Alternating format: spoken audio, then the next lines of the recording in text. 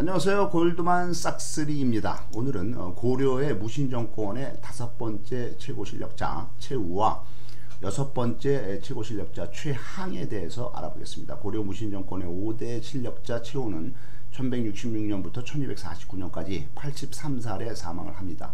아, 제위는 1219년부터 1249년까지 53살에 즉위를 해서 30년간 통치를 합니다.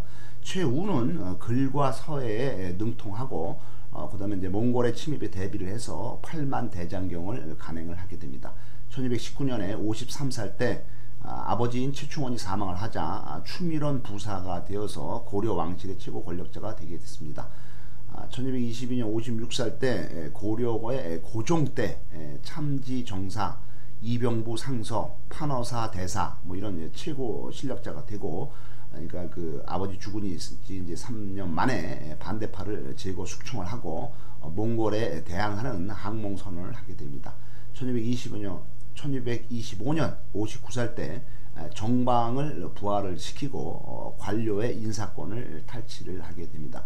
1227년 61살 때는 서방을 설치를 해서 이곳에서 이제 선비들을 등용을 하고 그다음에 이제 수기를 담당하는 어, 그러니까 그 자기의 그뭐 어, 보안이죠.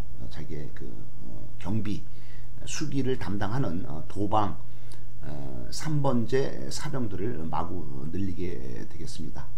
그 다음에 1232년 66살 때 몽골 침입에 대비를 해서 어, 강화도로 천도를 하게 됩니다. 그러니까 이제 그 어, 아버지 최충원이 죽은 지 13년 정도가 지난 후입니다. 그동안 이제 최고 실력자로 계속 있, 으면서 어, 그다음에 이제 그 강화도로 이제 천도를 하고 어, 서경에 에, 일어난 어, 필현보, 홍복원 어, 이런 그 반란을 진압을 하게 됩니다. 1234년에 68살 때 진양후가 되고서 어, 몽골 침입에 대비해서 강화도에 축성을 하게 됩니다.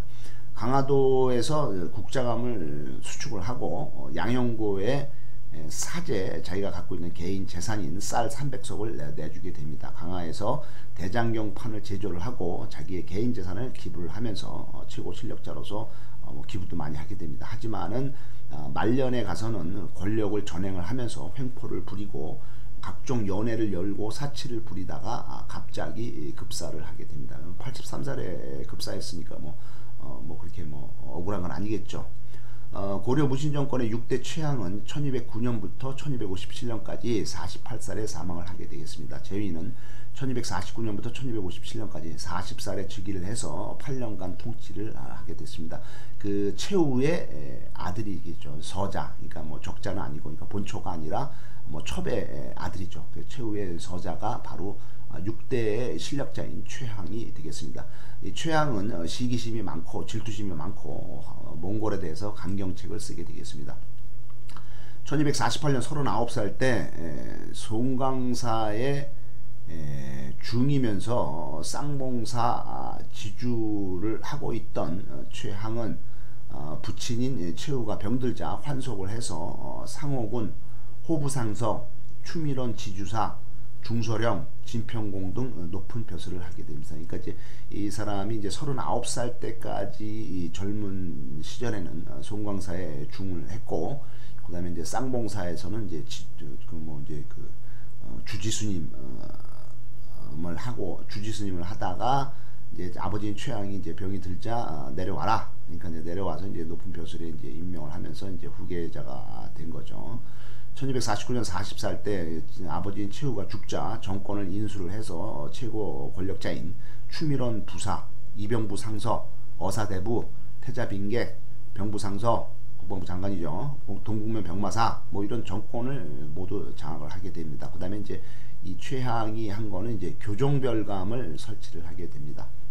아, 자신의 이제 권력 강화를 위해서 어, 측근들을 뭐 이런 어, 그다음에 이제 뭐 경비 뭐 이런 어, 저죠 1252년 43살 때 몽골의 사신인 어, 다가가 다가라는 사신이 오자 아, 그 고종의 지시에 의해서 모든 신하들이 강화도에서 나와서 육지에 나가서 이제 다가를 접대하는데 최양 혼자만이 어, 난안 간다. 나 몽골하고 싫다.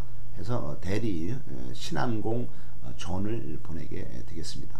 1254년 44살에 이 그 몽골 사신 다가를 이제 음, 그 이제 그 냉혹하게 돌려보내고 나서 1년 후에 에, 몽골군의 대군이 어, 침입을 하게 됩니다. 그래서 야굴과가 이제 지휘자가 되는 거죠. 야굴과. 그때 이제 그 어, 고종은 어, 태자인 영령군 준을 보내서 몽골군을 무마를 하자 아, 이렇게 그 건의를 하지만은 이 최향이 안 된다. 우리가 왜 몽골에 항복을 하냐 하면서 어, 거부를 하게 되면서 몽골하고 어, 그 대치하고 어, 전쟁을 하게 되는 거죠. 1250년 47살 때 제중강민 공신으로 최고의 벼슬을 계속 하게 되고 1257년 48살 때 어, 중서령 감수국사 뭐 이런 아무튼 그 최고의 높은 벼슬 이름을 바꿔가면서 최고의 그 권력자였지만은 8년을 통치한 후에 48살 때 뭔지 모르지만은 어떻든 급사를 하게 되는 것이 최양이 되겠습니다. 감사합니다.